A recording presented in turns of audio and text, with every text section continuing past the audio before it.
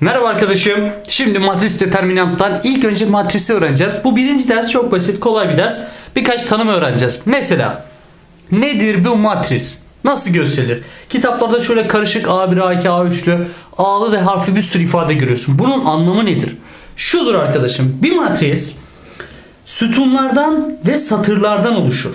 Şuradaki A11, A12, A13 nedir biliyor musun? İlki satır numarasını, ikincisi sütun numarasını gösterir. Önce örneğin 1'e 1 birinci satır, birinci sütun. 1'e 2 birinci satır, ikinci sütun gibi. Tamam mı? Şuradaki M çarpı ne nedir? Satır sayısı çarpı sütun sayısını gösterir. M çarpı ne? Bak kaç satırlı? 2 satır. 2 çarpı kaç sütunlu? 1, 2, 3 sütunlu. 2 çarpı 3. Gördün mü? Budur. Bu kadar. Bak şimdi yandaki matrise bakalım. 2 çarpı 4'tür. Neden? 2 tane satır var 4 tane süturu var. Örnek olarak da demiş ki A 1'e 3 nedir? Sen söyle A 1'e 3 nedir? Hocam 1'e 3 demek birinci satır E 3. sütun 1 2 3 5'i temsil eder. 5 artı 2'ye 4. İkinci satırdan dördüncüyü bulurum. 1 2 3 4 o da 1'dir. Toplam 6. Bu kadar çok basit gördün mü? Korkacak bir şey yok. Fırlatıyoruz. Kare matrise geliyoruz. Peki kare matris nedir? Hocam satır sütun sayısı eşitse kare oluşur. Bu kadar. Bak 3 tane satır var 3 tane sütun var. 3 çarpı 3 bir kare matristir bu. Satır sayısıyla sütun sayısı aynı olacak. Çok güzel. Köşegen matris. Bak şu köşeden şu köşeye çizdiğim bir çizgi üzerinde sayılar varsa tamam mı? Üst tarafında ve alt tarafında sıfırsa buna köşegen matris diyoruz. Bu kadar arkadaşım. Şimdi asıl önemli şey birim matristir. Birim matris örneğin 3'e 3'lük bir matriste bu 3 çarpı 3 3 satır 3 sütunlu bir matriste birim matris şu köşegen üzerindeki sayılar 1 1 1 olacak diğerleri 0 0. Bu. Bu I3'tür. Neden? 3'e 3'lük. I2 nedir? 2'ye 2'lik bir matriste. Tamam. Örnek. I2 bak. Aa I2 demiş. Yani 2'ye 2'lik bir matriste. Burada 2'ye 2'lik bir matris var. 2 satırı var. 2 sütunu var. E I2 ise bu demek ki köşegen 1 1 diğerleri 0 0 olacak. Yani şu 1 0 0 1. Bu 2'ye 2'dir. O zaman bak log 2 tabanında x 1 olmalı. Doğru mu? Doğru. Bu 1'e eşit. Peki soruyorum log 2 tabanında neyi 1 yapar? Tabii ki 2. X burada 2 olmalı yani. X'in 2 olduğunu buldum. Peki. Çünkü burası 1 yapmalı. Güzel. Log 2 tabanında x 1 ise x 2'dir. Tamam. Şurası da 1 yapmalı. Şimdi 2 üzeri z 1'miş. 2 üzeri kaç? 1'dir. 2 üzeri 0 1'dir değil mi? Z'yi de buradan 0 bulursun. Süper. Sonra ne biliyorum bak. Şu köşedekiler 0 olmalı. Y eksi 1 0 ise Y 1 olacak. Güzel. T direkt 0 ise T 0 olacak. Bütün bilinmeyenleri böyle bulduk. Basit. Çok kolay. Biraz daha ilerleyelim. Zaten bu birinci video çok basit. Olay ikinci videoda kopacak. Burada sadece tanımları öğreneceğiz. Neyin ne olduğunu öğreneceğiz. İki matrisin eşitliği yine çok pratik. A11 A11'e eşit. A1'e 2 A1'e 2 eşit. Yani sıralama değişmez. Bu buna eşit olur. Bu buna eşit olur. Bu buna eşittir. Bu da buna eşittir. Bu kadar. Logaritma x tabanında 9 2'ye eşittir. O zaman ne anlıyorum? x kare 9'dur. x 3'tür. Güzel. Şimdi bak mesela 16 2 üzeri z'ye eşittir. Z'nin buradan 4 olduğunu anladım. 2 üzeri 4 16'dır. ln y 0'dır. Yani bu ne demektir? ln y nasıl 0 olur? ln y eşittir 0 ise biliyorsun e tabanında e üzeri 0 y'den y 1 oluyor. Güzel. Başka ne var? t küp eksi 64. Demek ki t nedir? Eksi 4.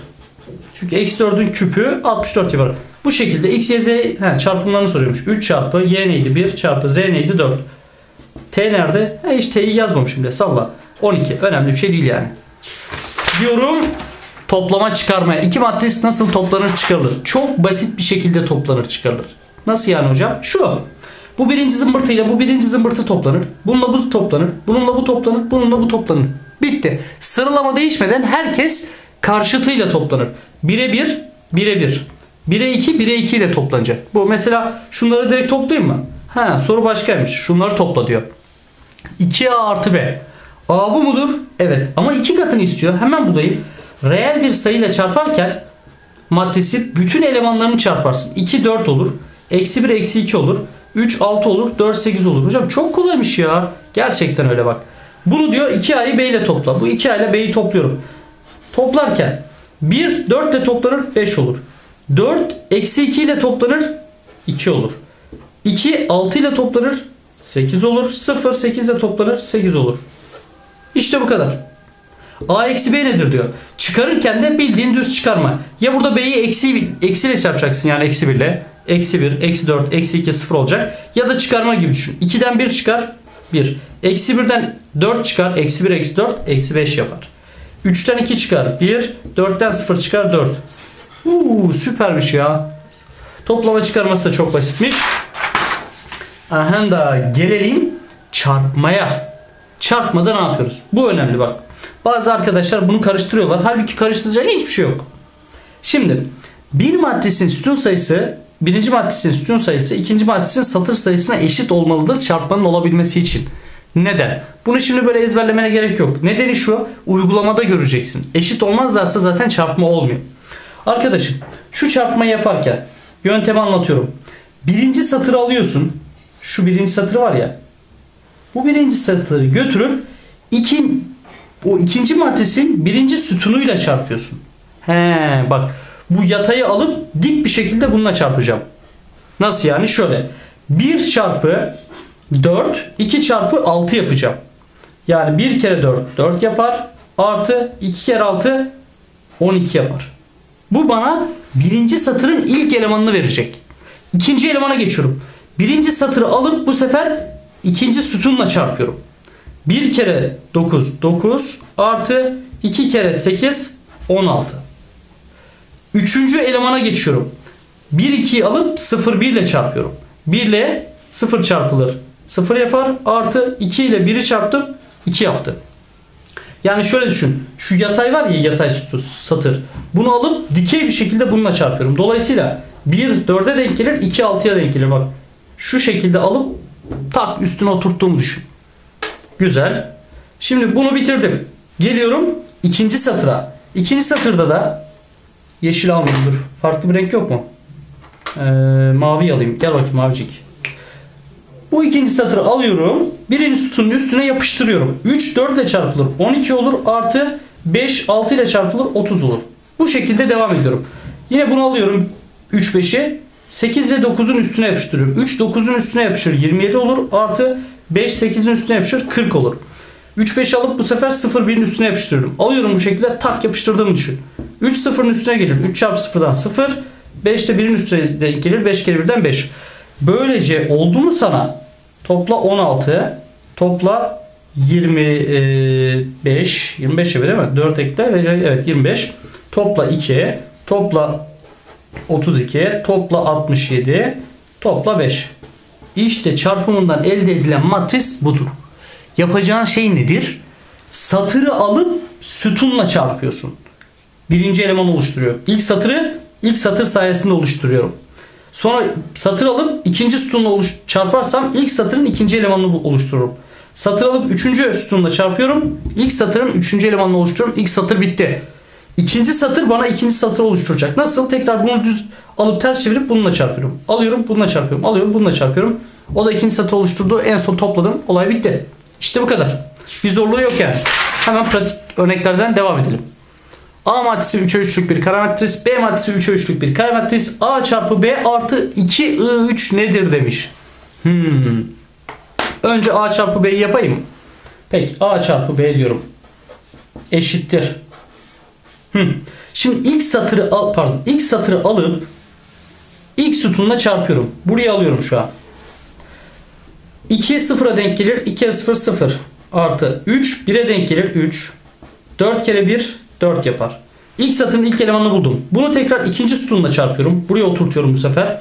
2 2'ye denk gelir 4. 3 4'e denk gelir çarp 12. 4 3'e denk gelir çarp 12. Bu satır alıp 3. sütunla çarpıyorum. 2 3'e denk gelir 6 artı. 3 2'ye denk gelir 6 artı. 4 5'e denk gelir 20. Uuu bayağı uzun oldu değil mi? Böylece ilk satırı elde ettim. Şimdi ikinci satıra geçiyorum. Onu da şöyle yapayım. Bu sefer bunu alıyorum. Sırasıyla bununla, bununla, bununla çarpıyorum. 1 sıfırla ne yapar? 0. Artı 2 1 ile 2 artı 1 1 ile 1.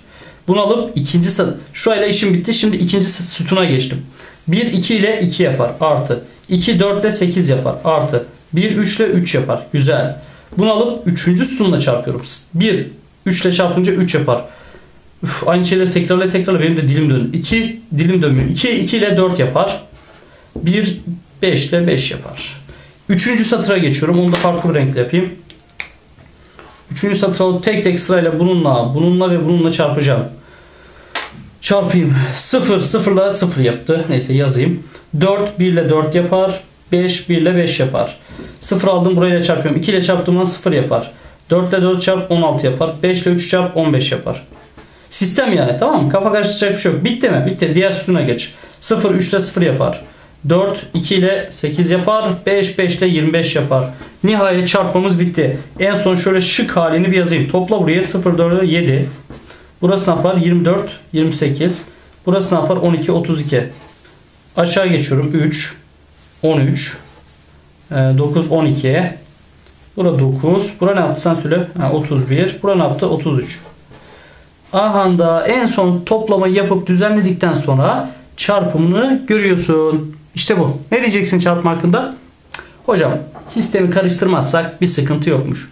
Şu satırı alıyorsun bu sütuna yapıştırıyorsun. Aynı satırı bu sütuna, bu sütuna ve diğer sütuna yapıştırıyorsun.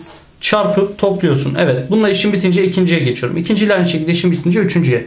Hocam çok bir şey yok. İnşallah karıştırmayız. Karıştıracak bir şey yok yani. Tamam mı? Artık LYS çalışan bir öğrencinin 12. sınıfa gelmiş bir öğrencinin yani kusura bakmasın bunu da karıştırmaması lazım. Yani konuşturmayın beni. Buraya gelelim.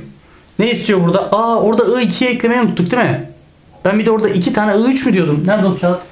Neyse bayağı uzağa gitti ya. Onun I'yı iki katında toplayacaktım unuttum neyse. Zaten burada bir benzeri var. Bunu yapayım da hadi kendi telafi edeyim.